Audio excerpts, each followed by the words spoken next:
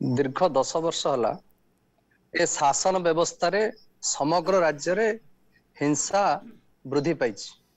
ଦୁଷ୍କର୍ମ ଅପହରଣ ହିଂସା ଏସବୁ ବୃଦ୍ଧି ପାଇଛି। ବର୍ତ୍ତମାନ ନିର୍ବାଚନ ମାହୋଲ ଆସିଛି। ଏଇ ଯୋଉ ଉପନିର୍ବାଚନ ସମୟରେ ଯେତେବେଳେ ଗୋଟେ ରାଜନୈତିକ ଦଳ ଦୀର୍ଘ ବର୍ଷ ଧରି ସେଠି କ୍ଷମତାର ଅଳନ୍ଦି ଭିତରେ ରହି ନିଜର ସ୍ୱାଦୁ ଚାଖିବାର ମଜା ନେଇଛି ସିଏ ସେ ସ୍ୱାଦୁର ମଜା ହଠାତ୍ ହାତ ଛଡା କରିବା ପାଇଁ ସେ କେବେ ହେଲେ ମାନେ ତତ୍ପରତା ପ୍ରକାଶ କରିବ ନାହିଁ ସେ ସର୍ବଦା ଚାହିଁବ କିଭଳି ଭାବେ କ୍ଷମତାଟା ନିଜ ହାତରେ ରହିବ।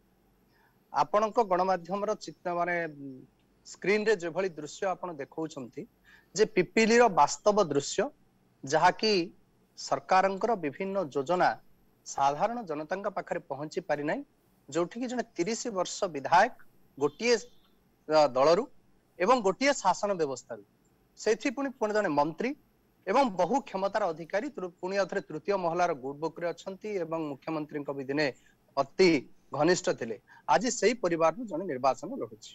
ହୁଏତ ମନୁଷ୍ୟ ଯେତେବେଳେ ନିଜର ଆଶା ଆକାଂକ୍ଷିକାକୁ ସେ ହରେଇ ଦବାର ଭୟ ସୃଷ୍ଟି ହୁଏ ସେ ଭୟ ତାକୁ ଧୀରେ ଧୀରେ କଣ କରେ ନା କ୍ରୋଧ ଆଡକୁ ନେଇଯାଏ ଏବଂ ସେ କ୍ରୋଧ ହିଁ ଧୀରେ ଧୀରେ ହିଂସାର କାରଣ ସାଜିଥାଏ। ନିଶ୍ଚୟ ଶୀତ ମହାନ୍ତି କ୍ରୋଧ ହବ ଇର୍ଷା ହବ ଆକ୍ରୋଶ ହବ କିନ୍ତୁ ୟା ଭିତରେ ଲୋକେ ଲୋକଙ୍କୁ ଜୀବନରୁ ମାରିବା ପାଇଁ ପଛେଇବେନି। ଉପନିର୍ବାଚନ ଆସିଛି ନିର୍ବାଚନ କିଏ ଜିତିବ କିଏ ହାରିବ ଏକଥା ଜନସାଧାରଣ ଡିସାଇଡ୍ କରିବେ। କିନ୍ତୁ ଏ କର୍ମୀମାନେ ଯେଉଁମାନେ ଦଳୀୟ କର୍ମୀ ଅଛନ୍ତି ଏମାନେ ନିଜ ଭିତରେ ବାଡ଼ିଆ ବାଡ଼ି ହେବେ ଅନ୍ୟ କାହାକୁ କ୍ଷତି ପହଞ୍ଚାଇବେ। ଏ କଥା କେତେ ଦୂର ଯୁକ୍ତିଯୁକ୍ତି? ଗଣତନ୍ତ୍ରରେ ଏ ବ୍ୟବସ୍ଥାକୁ ଆପଣ କେମିତି ଦେଖୁଛନ୍ତି? ସୁସ୍ଥ ଗଣତନ୍ତ୍ର ଭିତରେ ହିଂସାର ସ୍ଥାନ ହିଁ ନାହିଁ। ତାହା ପୁଣି ଭାରତର ପ୍ରତିଟି ରାଜନୈତିକ ଦଳ ସଦା ସର୍ବଦା ଗାନ୍ଧୀଙ୍କର ଅହିଂସାର ଶବ୍ଦକୁ ଉଚ୍ଚାରଣ କରୁଛନ୍ତି। କିନ୍ତୁ ଆଚରଣ ସମ୍ପୂର୍ଣ୍ଣ ରୂପେ ଭିନ୍ନ ହୋଇଥାଏ। ଏଠି ଯେଭଳି ଭାବେ ହିଂସା ଆଚରଣ କରୁଛନ୍ତି ଏହି ହିଂସା କେବେ ହେଲେ ସ୍ପୃହଣୀୟ ନୁହଁ। ଏହା ହେବା ଉଚିତ ହିଁ ନାହିଁ। ଶାସକ ଦଳ ନିଜର ପାରିବାର ପଣିଆ କେତେ ନେଇଛି ଲୋକଙ୍କ ପାଖରେ କେତେ ପହଞ୍ଚି ତାହା ବକାଣିବା ଆବଶ୍ୟକତା ରହିଛି। ଏବଂ ବିରୋଧୀ ଦଳ ସିଏ ଶାସନ କ୍ଷମତାକୁ ଆସିବା ପାଇଁ ଶାସକ ଦଳର ଅପାରଗତାକୁ ଲୋକଙ୍କ ପାଖରେ ପହଞ୍ଚେଇବ। ଏବଂ ପ୍ରତ୍ୟେକ ଦଳ ଭିତରେ ଆରୋପ ପ୍ରତ୍ୟାରୋପ ସୁସ୍ଥ ବାତାବରଣ ଭିତରେ ଚାଲିବା ଉଚିତ।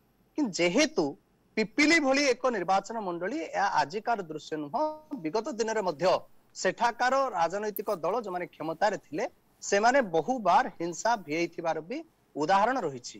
ଏଣୁ ଆଜି ବି ସେଇ କର୍ମୀ ମାନଙ୍କର ସେଇ ଅଭ୍ୟାସ ରହିଯାଇଛି ବୋଧ ହୁଏ ଯାହା ଫଳରେ କି ସେମାନେ ଗୋଟେ ଭୟ ପାଲଟି ଯାଇଛନ୍ତି ଯେ କାଳେ ନିର୍ବାଚନରେ ଆମେ ହାରିଯିବୁ ଏବଂ ଭାରତୀୟ ଜନତା ପାର୍ଟି ଲୋକଙ୍କ ପାଖରେ ପହଞ୍ଚୁଛି ଏବଂ ସେମାନଙ୍କର ଯେତେ ପରିମାଣର ସବୁ ଯାହା ଲୁଚିକିରି ରହିଥିଲା ସେ ଲୁଚିବା କଥାଟାକୁ ମଧ୍ୟ ଦାଣ୍ଡ ଆଗକୁ ଆଣୁଛି।